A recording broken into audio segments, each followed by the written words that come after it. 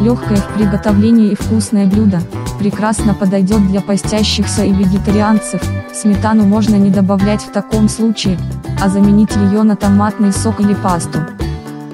Гуляш из шампиньонов можно готовить в кастрюле на плите или при помощи мультиварки. В мультиварку сложите порезанные ингредиенты и включите режим тушения.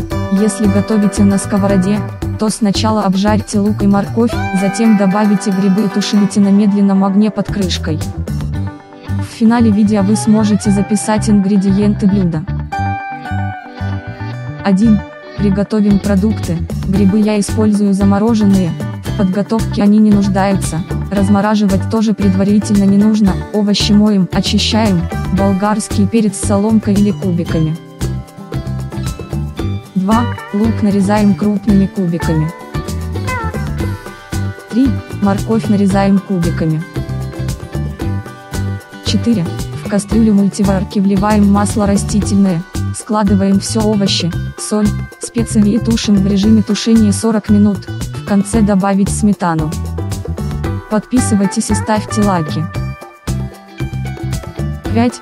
Гуляш готов, приятного аппетита!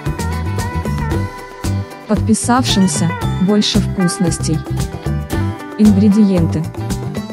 Шампиньоны, 250 грамм, морковь, 150 грамм, лук, 100 грамм, перец болгарский, 2-3 штук, масло растительное, 30 миллилитров, сметана, 30 мл, можно не добавлять, соль, перец, зелень, по вкусу, количество порций, 3-4.